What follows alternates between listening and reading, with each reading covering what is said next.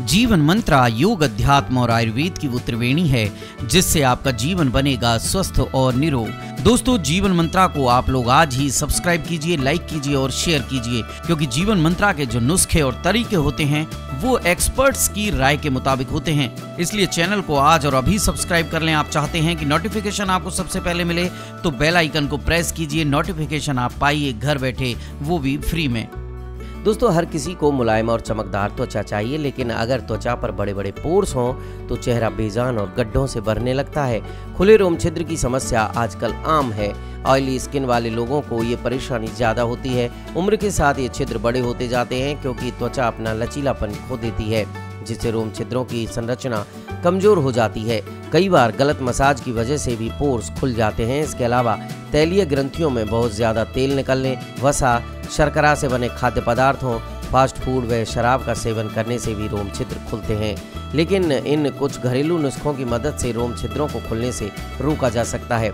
दरअसल, इन नुस्खों को अपनाने से स्किन में कसाव आता है, जिससे पोर्स छोटे हो जाते हैं। तो इसके लिए क्या करना है? सबसे पहले आप अच्छे से अपना चेहरा साफ़ कीजिए। रोज अच्छे से साफ़ करना है। उसके बाद गंदगी, तेल और बैक्टीरिया की वजह से जो पोर्स बड़े होते हैं, दिन में दो बार आप सुबह और शाम क्लिंजर से आप अपना चेहरा साफ़ करें। उसके बाद आप बेसन, नींबू और दही का प्रयोग कर सकते हैं। बेसन में नींबू का रस, गुलाब जल और दही मिक्स कर लें और फिर पेस्ट को मास्क की तरह चेहरे पर लगाएँ और सूखने के बाद चेहरा धो लें। फिर आप आइस क्यूब का प्रयोग करें। चेहरे पर आइस क्यूब जो है वो लगाने से पोर्स बंद हो जाते हैं और त्वचा ग्लो करने लगती है। ध्यान रहे आइस क्यूब सिर्फ़ 15 से 20 सेकंड ही लगाएँ। सोने से पहले आइस क्यूब लगाना बहुत बढ़िया रहता है। टमाटर पैक का भी आप इस्तेमाल कर सकते हैं। टमाटर के रस को रुई में डुबोकर चेहरे पर लगाएँ और हल्के हाथों से मसाज करें। 20 मिनट तक आप इसे लगा रहने दें, उसके बाद चेहरा धो लें। इससे आपके चेहरे में कसाव आएगा। टमाटर के गूदे में एक चम्मच चंदन पाउडर और एक चम्मच लेमन पाउडर मिक्स करके चेहरे पर लगाएँ। सूखने पर चेहरा धो लें, पोर्स की समस्या खत्म हो जाएगी।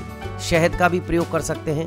शहद को आप फेस मास्क की तरह लगा सकती हैं। शहद में नींबू का रस, चीनी मिलाकर पेस्ट तैयार करें और चेहरे की मसाज कर लें। कुछ देर ऐसे ही छोड़ दें, बाद में गुनगुने पानी से धो लें। आप पाउडर वाले दूध में भी शहद मिक्स करके चेहरे पर लगा सकती हैं। गुलाब जल इसके लिए आपको वरदान साबित होगा। अगर आपकी स्किन ऑयली है तो पोर्स बंद करने के लिए चेहरे पर तेल साफ़ करने के लिए कत्थे में रोज वाटर डालकर लगाएँ। कत्थे की मात्रा ज़्यादा ना हो, मसूर के दाने के बराबर आपकी मात्रा होनी चाहिए। आप दही का भी उपयोग कर सकते हैं, क्योंकि दही एक क्लिंजर की तरह काम करता है। इसमें मौजूद लैक्टिक एसिड पोर्स में फंसी गंदगी को साफ़ करने में मदद करता है और स्किन में कसाव आता है।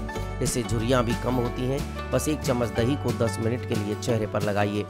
आप सेब साइडर सिरके का भी इस्तेमाल कर सकते हैं। एप्पल साइडर सिरका एक प्राकृतिक ऑस्ट्रिंजेंट है। इसे कॉटन की मदद से चेहरे पर लगाएँ। इससे आपकी त्वचा में कसाव आएगा और पोर्स छोटे हो जाएँगे। जीवन मंत्रा में आज इतना ही। फिर मिलेंगे एक नए विषय के साथ। तब तक के लिए आप हमारे चैनल को सब्सक्राइब करें, लाइक करें और शेयर करें।